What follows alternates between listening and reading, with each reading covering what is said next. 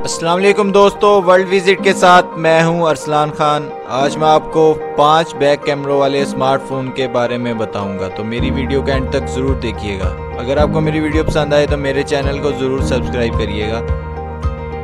آخر کسی smart phone میں کتنے کیمرے لینس بہت زیادہ محسوس ہوں گے؟ تو اس کا جواب لگتا ہے کہ بہت ہی قریب ہے، کیونکہ ایک نئی لیک تصویر سے اندازہ ہو سکتا ہے۔ کہ نوکیا فائف بیک کیمروں والے اسمارٹ فون کو متعارف کرانے کی تیاری کر رہی ہے۔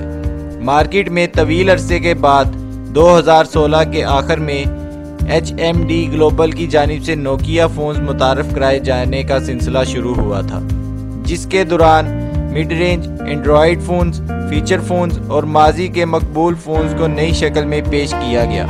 مگر اب لگتا ہے کہ یہ کمپنی پہلے حقیقی فلیگ شپ فون کو متعارف کرانے کی خواہش مند ہے اور اسی کی تصویر لیک ہو کر سامنے آئی ہے۔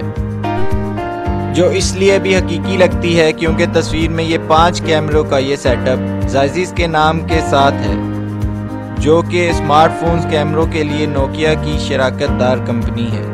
ویسے بھی پانچ بیک کیمرے والے اسمارٹ فون کی تیاری کچھ زیادہ حیران کن نہیں۔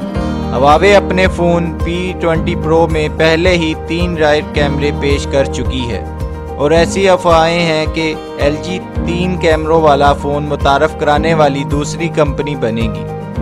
اس طرح سیمسنگ کی جانی سے چار بیک کیمروں والے اسمارٹ فون کی تیاری کی خبریں بھی سرگرم ہیں۔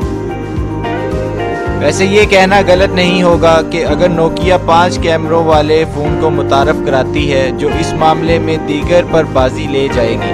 اور ہو سکتا ہے کہ اس کے فیچرز لوگوں کو سیمسنگ یا ایپل آئی فون کو بھولنے پر مجبور کر دے۔